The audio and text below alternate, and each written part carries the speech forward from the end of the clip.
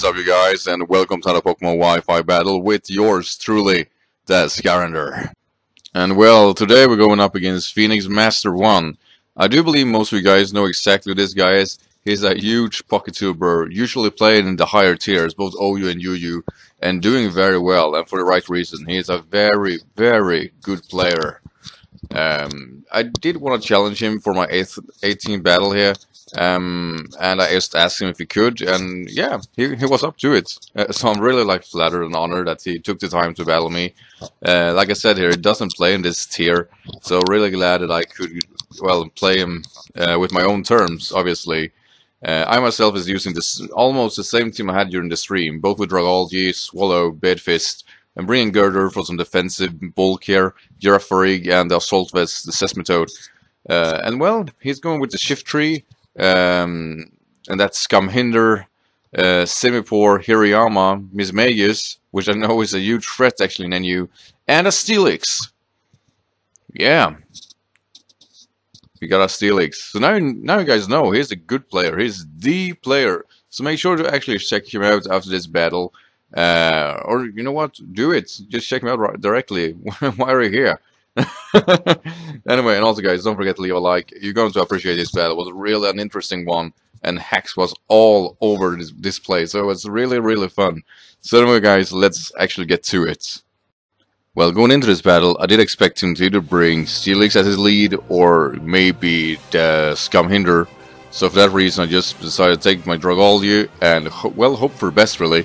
And, well, um, he did bring the Shiftry, obviously you're gonna expect me to go for a sludge and stuff like that. I just go directly for that Specs Dragon Meteor or Draco Meteor. And well, it does a lot of damage here on um, this poor, poor Hariyama. So seeing that damage, I did expect to go for an Ice Punch and not a knockoff. Um, so and I got a crit there too, but I also got the Poison Point going. And so now I my choice specs, which pretty much means that this Draco won't take him out.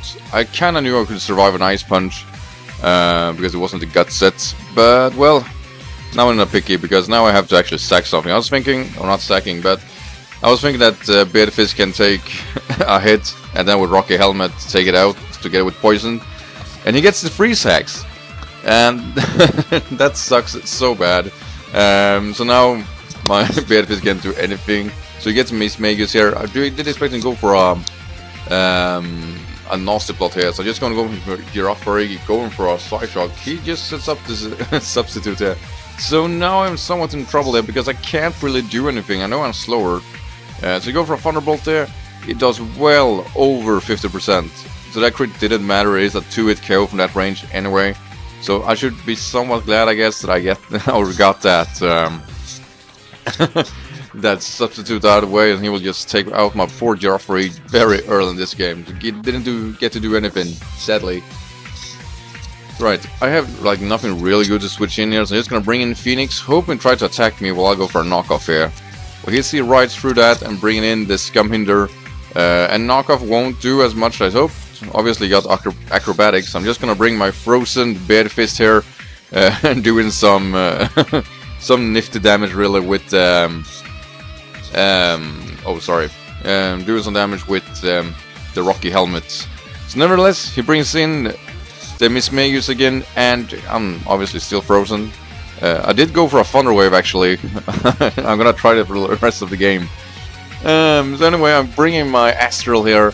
Um, you're gonna set up a um, substitute again, I'm just gonna go right away for a Boom Burst, hoping it takes it out. Um, and look at this. Look at this. Ah! It's so close too. Um, so sadly I lose my Swallow really early here too. Uh, did almost take it out, so I mean I'm somewhat glad, and he did not expect that. he said was never caught off guard this much in his entire life. So anyway, um, I know uh, Rizal can handle this. Going for Rock Slide here, which is somewhat safer, going getting the sub um, substitute back off, and then I go for Poison Punch instead if he decides to switch out because I know with my strength on my Seismitoad I actually can take it out from this range. So yeah, that is Mismagius out of the way. It cost me a lot of trouble this game. Um, and it's not over yet. Still got that Shiftry.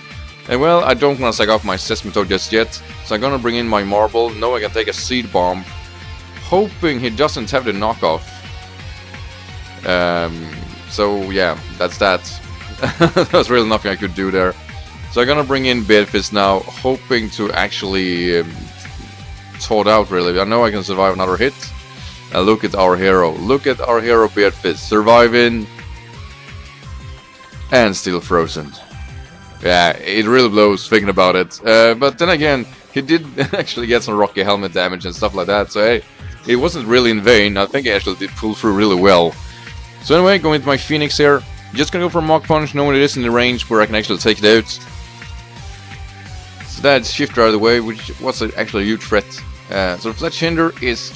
I'm gonna take that hit and go for Drain Punch. I was not entirely sure that a Drain Punch could take it out. I know Fletchinder is somewhat uh, fragile, so I'm really glad I actually didn't got that one away. It was a huge threat considering how fast it is with acrobatics, or rather the priority with acrobatics. So anyway, I was thinking it's gonna go for a water move. He see right through me. Uh, and this is like the reason why Phoenix Master is such a good battler. He got the predictions down. Um, so I'm going back to my Phoenix. Uh, I did not understand why I decided to withdraw there to Steelix.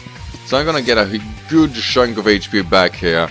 Uh, I later find out that his um, yeah, Simipour is actually Scarf, so he was he was actually locked into Grass Knot. So he pretty much sacked uh, this poor, poor Steelix here. Uh, and I mean, I'm hurting too here because I like Steelix. So anyway, that is obviously Steelix out of the way. Didn't get to do too much this game. Uh, and well, now I have only one to face off, and that is the Simipour. And I'm gonna go for Drain Punch here, hoping to survive a Hydro Pump. And well, I barely done that. And I was really glad I did. Uh, it's now in the range where a Mach Punch will actually take him out. And that will be game! Yeah, I won! so, well, what to say? Thank you Phoenix Master for this game. I, like I said, I am truly honored that you took the time to actually battle me. And well, it was actually very little that decided who got to win this game. And I was really glad. I definitely think that we were definitely equal in this tier.